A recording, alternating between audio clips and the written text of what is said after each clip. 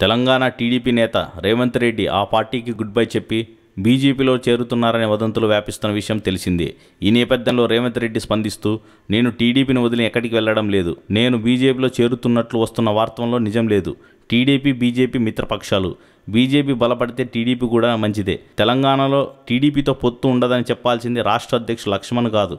ఈ విషయము బీజేపీ జాతీయ అధ్యక్షుడు అమిత్ షా ఏపీ సీఎం చంద్రబాబు తేల్చుకోవాలి అని ఒక న్యూస్ ఛానల్తో రేవంత్ రెడ్డి స్పష్టం చేశారు.